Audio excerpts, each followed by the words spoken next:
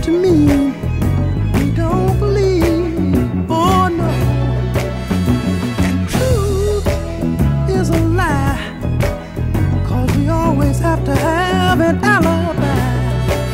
But if we hang up our boxing gloves and sit down and try to love, you'll find that it's time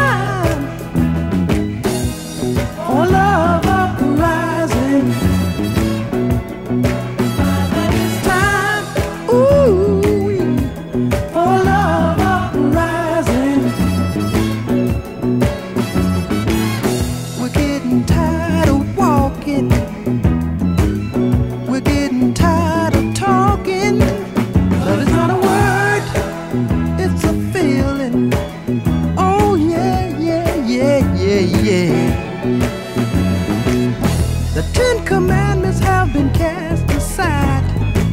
So the devil gives orders, and we're right there to oblige. If we hang